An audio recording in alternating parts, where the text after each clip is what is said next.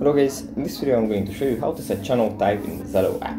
But before that, don't forget to subscribe, leave a comment down below because at 10,000 subscribers I'm going to show you my whole YouTube revenue statistics and growth strategy.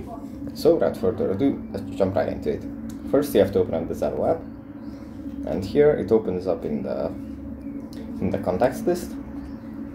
From here we just go into channels, then tap on a channel, then we have to tap on the channel icon and then on the pencil icon in the top right corner. And now at the top we find type and we can tap on the toggle list and uh, here we have uh, here we have four options. We can have the channel as either open, select, select plus or Zello cast.